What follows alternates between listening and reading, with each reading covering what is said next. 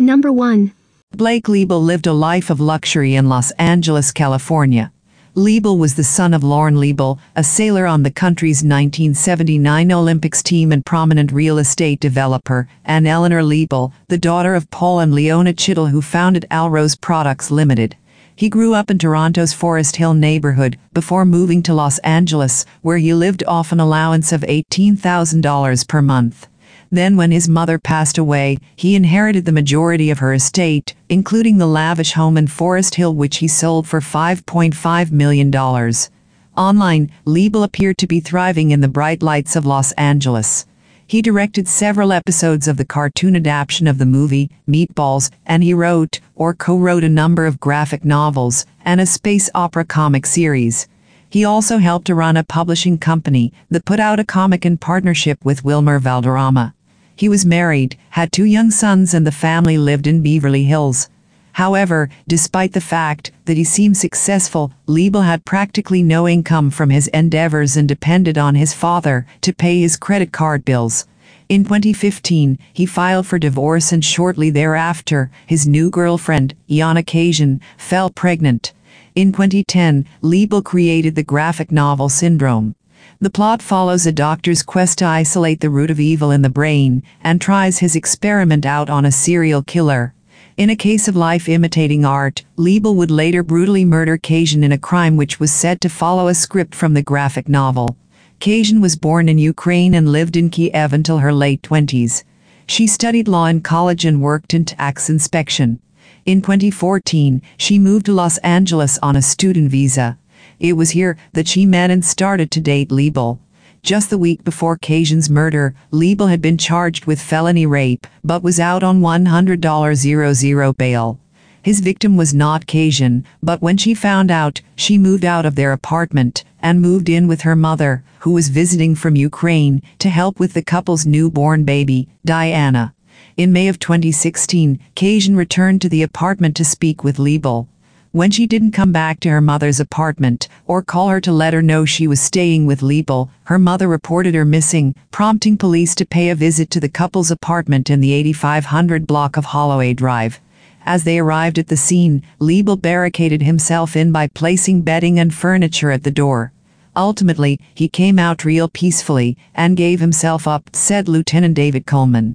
Upon entering the dimly lit apartment, it was clear why Leibel hadn't wanted them to come in. In a blood-spattered bedroom, police found the body of 30-year-old Kasian lying on a blood-stained mattress with a Mickey Mouse comforter. Diana was found beside her mother's body, unharmed. Kasian's autopsy painted a terrifying picture of the pain and terror she had endured. Her blood had been completely drained, her head was scalped, and her eyebrows and right ear had been cut off. There were several bite marks on her jaw. Ultimately, she died from blunt force trauma to the skull and exsanguination.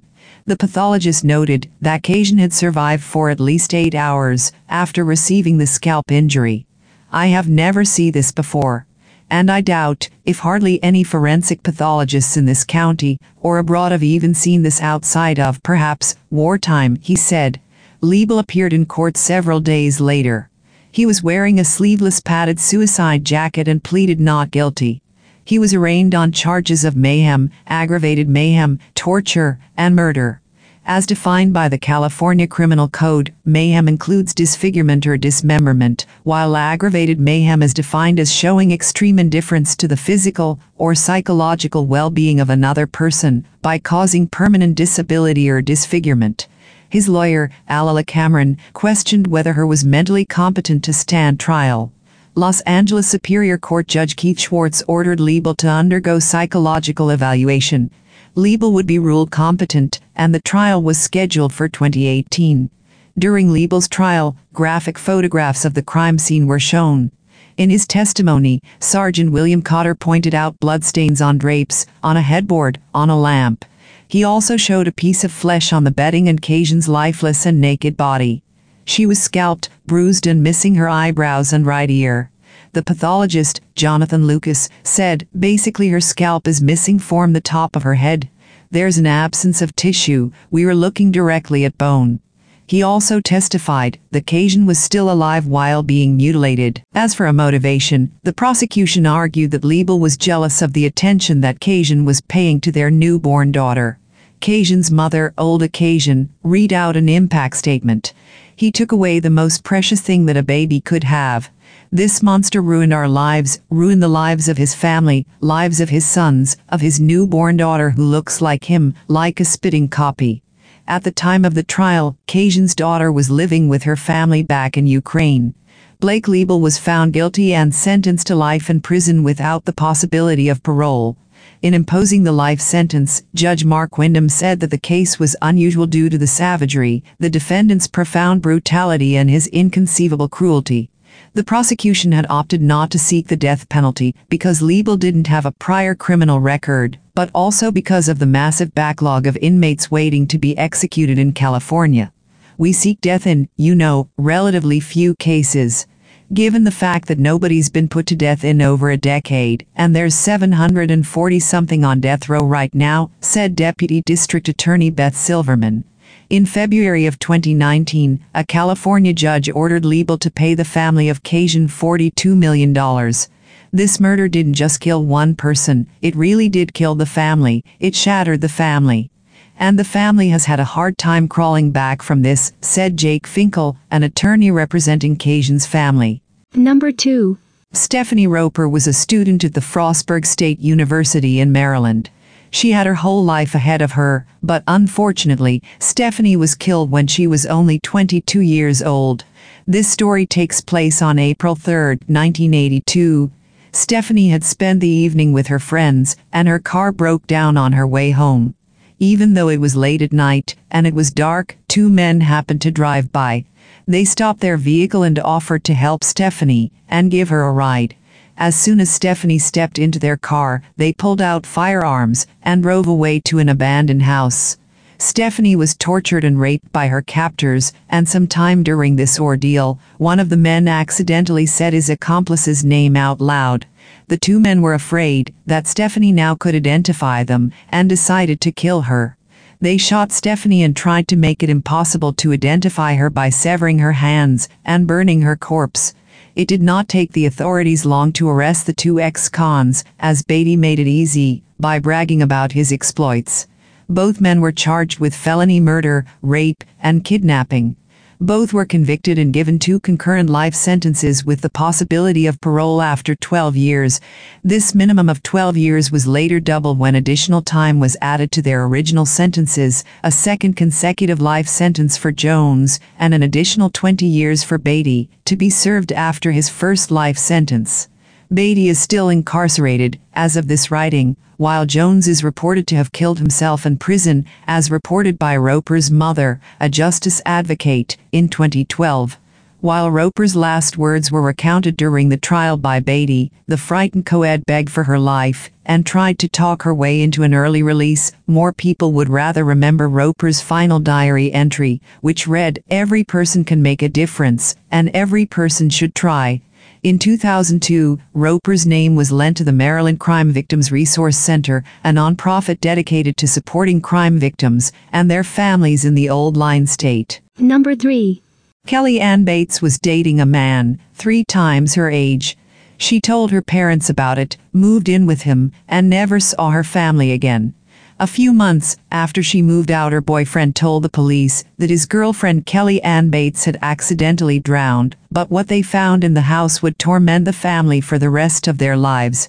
Smith had a history of abuse with the girls he'd been in a relationship with. He had become more abusive with each girl. He was a ticking time bomb waiting to go off. And with Kelly Anne Bates, he finally killed someone.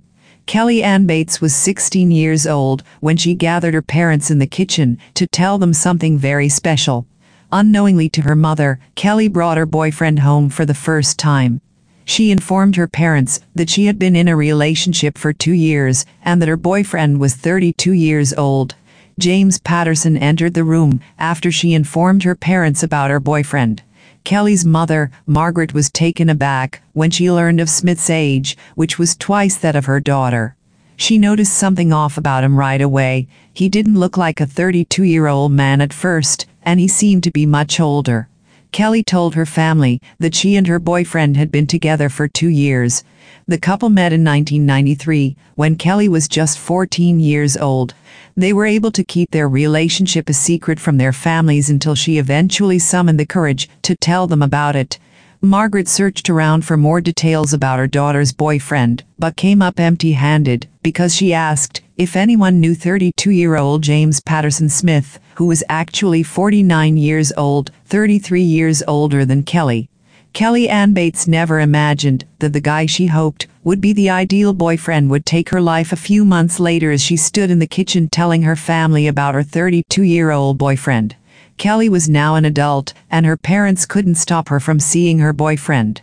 But Margaret later admitted in an interview that she just wanted to stab him with the bread knife in the kitchen. She regretted not doing that at the time, saying, This wasn't the man I wanted for my daughter. I vividly recall seeing our bread knife in the kitchen and wanting to pick it up and stab him in the back. Kelly was 16 at the time, and in Britain she was an adult. Her parents could not force her to stay away from her boyfriend, although she didn't know what's best for her. Soon after the meeting in the kitchen, on November 30, 1995, Kelly left her family home and moved south to live with her unemployed boyfriend. She did not visit her family and spoke to them on the phone most of the time. Margaret was worried from the beginning. She wanted to go to the police, but Kelly was too old for the police to do anything, and she didn't listen to her mother. I didn't know what to do. She was too old for the police to do anything. She wouldn't listen to me. During their relationship, Kelly and Smith broke up for a while, but then Smith stalked her until they were back again. While trips to Smith's house were common for Kelly, her parents followed her to Smith's house. While there Smith invited them into his house and showed them a hole in the floorboards that he said had been made by engineers repairing a gas leak. Kelly's parents believe that this was the place where he held Kelly Anne Bates captive. Her parents agreed only on one condition, that she keeps in regular contact and keeps coming to their home. But soon after she moved out, she stopped visiting the family, and when she stopped by for a rare visit, her parents noticed bruises on her arms. Soon Margaret and Tammy had enough of Kelly not visiting her home for several days and wanted to meet her to see how she was doing. As they were about to leave, however, their oldest son returned home and told her that one of his friends had seen Kelly Anne Bates and that she was fine. Margaret was so happy to learn that her daughter was doing well that she forgot to ask when he last saw her. What time was it? She would be protected from her boyfriend's barbaric torment if they went to check on her. Kelly soon stopped seeing her relatives, fearful that her parents would find out about the bruises. Over the holidays, she avoided giving them visits. On March 10, 1996, Margaret called Kelly to inform her that she had missed a dentist appointment. That'd be the last time they spoke to each other. Kelly promised she would come home to visit the family on Mother's Day the next Sunday, but she never did. Margaret instead received a card from Kelly, but it was not written in Kelly's handwriting. At Kelly's father's birthday and her parents' wedding anniversary, they witnessed the similarity. They knew something was wrong at that point, but Kelly Anne Bates was murdered before they could intervene. Kelly was subjected to horrific torment in the weeks leading up to her death, while her family waited by the phone. Patterson has a history of mistreating the people with whom he shared a home. His first marriage ended in divorce after he continued to hit his pregnant wife, and other women who dated James Patterson Smith shared similar accounts. He was no different to Kelly Anne Bates, but instead escalated the abuse to a frightening new level. All of this was revealed on April 16, 1996, when Smith went to the Gorton police station and said he had inadvertently killed Kelly Anne Bates while she was lying in a bathtub, drowning her. When authorities discovered Kelly Anne Bates in the home, however, the truth was revealed. They saw a very different story. Kelly was held prisoner for four weeks by the monster, who scalded her, crushed her arms and legs, gouged her eyes up to three weeks before her death, stabbed her entire body with knives, forks, and scissors, and stamped her with a domestic iron, resulting in 150 different injuries all over her body. Kelly was then struck with a showerhead before being drowned. The case went to trial, and prosecutors outlined the torture the girl suffered until she died, with one prosecutor telling the jury that the girl's physical pain would have been intense, causing anguish and torment to the point of mental breakdown and collapse. Women who had been abused by Smith came forward during the trial to tell the court what he had done to them. Even after torturing Kelly Anne Bates for hours on end, Smith insisted in court that he was the true victim. Kelly, he said, had provoked him to kill her by taunting him about his mother's death. He said she inflicted her own injuries on him to make him look bad. On November 19, 1997, the jury found James Patterson Smith, 49, guilty of the murder of Kelly Anne Bates and sentenced him to a minimum of 20 years in jail, where he is still serving. As for Margaret, she wishes, I want him to die just like Kelly did. I know I shouldn't say this, but I wish I'd killed him the first time I saw him. That way Kelly would still be alive.